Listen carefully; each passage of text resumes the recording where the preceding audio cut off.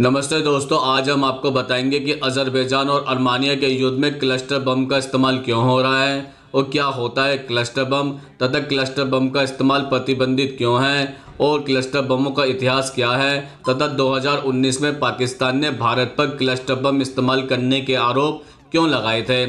दरअसल अजरबैजान और अर्मानिया के बीच युद्ध जारी है। हालात तनावपूर्ण बने हुए हैं। दोनों देश एक दूसरे पर बमबारी कर रहे हैं। कोई ड्रोन बम से हमला कर रहा है तो कोई क्लस्टर बम का इस्तेमाल भी कर रहा है। दरअसल एजेंसियों के अनुसार नागोर्नो काराबाग के रिहायशी इलाकों पर अजरबैजानी सेना क्लस्टर बम गिरा रही है। अंतर्राष्ट्रीय समझौतों के अनुसार क्लस्टर बम का इस्तेमाल प्रतिबंधित है। हालाँकि न तो अजरबैजान ने और न ही अर्मानिया ने इससे जुड़े अंतर्राष्ट्रीय कन्वेंशन पर कोई हस्ताक्षर किए हैं। स्थानीय समाचार पत्रों के अनुसार नागोर्नो काराबाग की राजधानी में बीते सप्ताह के अंत में हुई भीषण बमबारी के दौरान क्लस्टर बमों का इस्तेमाल देखा गया है। अब हम आपको बताते हैं कि क्लस्टर बम क्या होता है। दरअसल क्लस्टर बम खास तरह के बम होते हैं, जो एक साथ सैकड़ों छोटे छोटे बमों से बनते हैं। फटने पर यह बड़े इलाके में फैल जाते हैं और अधिक संख्या में लोगों को घायल करते हैं। क्लस्टर बम बेहद खतरनाक और विनाशक माने जाते हैं। इसे बमों का एक गुच्छा भी कहा जा सकता है। इसे लड़ाकू विमानों से गिराया जाता है।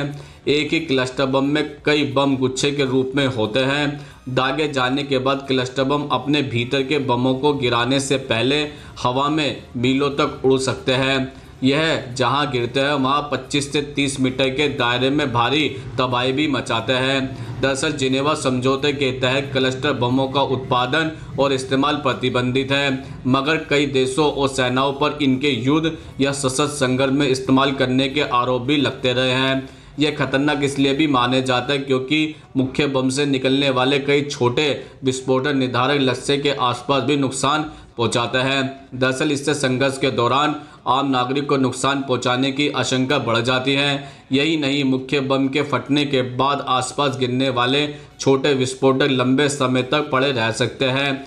ऐसे में संघर्ष समाप्त हो जाने के बाद भी इनकी चपेट में आने से जान माल के नुकसान की घटनाएँ देखने को मिलती है। ये विरोधी सैनिकों को मारने या उनके वाहनों को नुकसान पहुँचाने के लिए इस्तेमाल किए जाते हैं। इन्हें लड़ाकू विमानों से गिराया या ज़मीन से लॉन्च भी किया जा सकता है। अब हम आपको क्लस्टर बमों का इतिहास बताते हैं। दरअसल क्लस्टर बमों का इस्तेमाल सबसे पहले उन्नीस में सोवियत संघ और जर्मन फौजों ने किया था।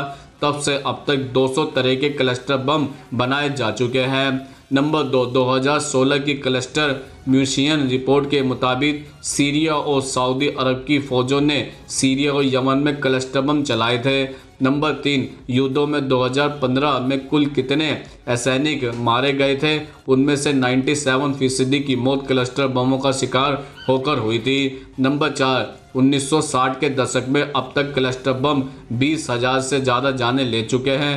क्लस्टर बमों से अब तक कुल पचपन हज़ार जाने जाने का अनुमान भी है। नंबर पाँच क्लस्टर बमों ने सबसे ज़्यादा तबाही वियतनाम और लाओस में मचाई थी। उसके बाद इराक और कंबोडिया का नंबर है। अब तक 24 देशों के लोग इससे प्रभावित भी हुए हैं। नंबर छः 30 मई 2008 को 100 से ज़्यादा देशों के बीच एक समझौता हुआ था, जिसके तहत क्लस्टर बमों का निर्माण, संग्रहण और इस्तेमाल तक का बैन लगा दिया गया था। नंबर सात, क्लस्टर बमों को बैन करने के समझौते पर अब तक 109 देशों ने दस्तखत किए हैं। लेकिन अमेरिका, चीन, रूस, Brazil Venezuela Argentina Israel Greece, मिस्र और ईरान जैसे बड़े देश इस समझौते से बाहर हैं। अब हम आपको बताते हैं कि 2019 में पाकिस्तान ने भारत पर क्लस्टर बम इस्तेमाल करने के आरोप क्यों लगाए थे।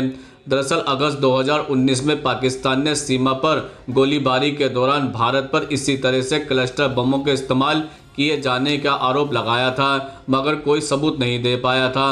दरअसल पाकिस्तान नियंत्रण रेखा पर बिना उकसावे के फायरिंग कर रहा था। जब भारतीय सेना ने इसका जवाब देना शुरू किया तो पाक ने झूठ फैलाने लगा कि भारतीय सुरक्षा बल क्लस्टर बमों का इस्तेमाल कर रही है। भारतीय सेना ने उनके इस दावे को खारिज भी कर दिया था और आज तक पाकिस्तान इस बात का कोई सबूत भी नहीं दे पाया है।